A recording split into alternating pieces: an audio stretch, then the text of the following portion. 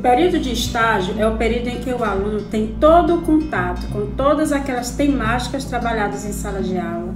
É onde ele vai poder vivenciar a assistência direta com o paciente. É onde ele vai poder se inteirar verdadeiramente da atribuição do profissional de enfermagem.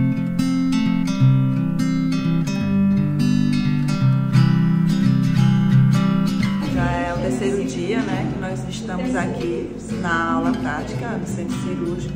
Tivemos uma visita técnica uns dias atrás, mas agora é o momento que a gente realmente está colocando a mão na massa.